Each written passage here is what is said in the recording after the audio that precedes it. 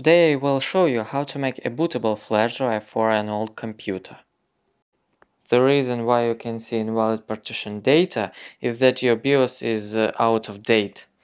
To solve this problem, in your Rufus program, select MBR partition scheme and select item add fixes for an old BIOSes.